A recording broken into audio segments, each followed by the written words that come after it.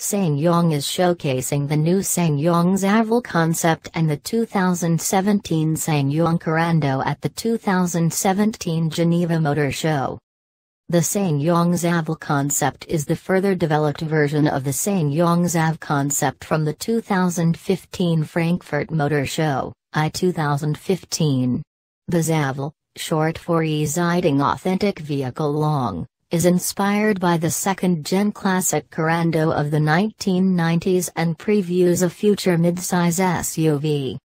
The SsangYong XAVL concept measures 4,630 mm in length, 1,866 mm in width and 1,640 in height, and has a wheelbase of 2,775 mm.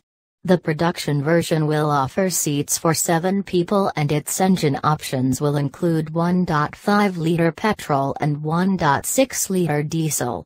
Transmission choices will include 6-speed manual and 6-speed automatic, both sending power to the front wheels. Infotainment system with a 10.25-inch full-color LCD display, Wi-Fi hotspot for second and third row passengers, advanced emergency braking system, lane change assist, lane keeping assist, high beam assistance, blind spot detection and rear cross traffic alert are some of the key features of the SsangYong XAVL concept. The driver can control the functions of the vehicle's navigation, back and infotainment system even using a smartphone.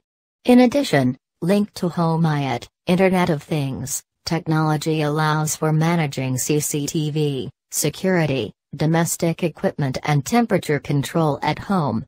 For more updates subscribe MotoGuru.